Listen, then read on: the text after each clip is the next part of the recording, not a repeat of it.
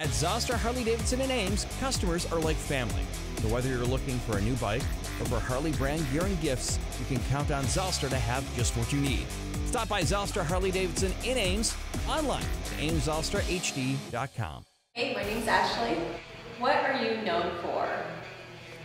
Um, I am known for being a little bit crazy at times. Um, I can always have a good time anywhere I go. Um, just kind of the life of the party. Can you play any instruments? And if so, which ones?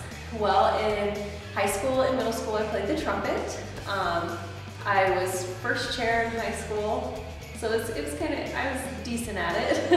um, but yeah, that's the trumpet, or I can sort of play like Mary Had a Little Lamb on the piano, but that's about it.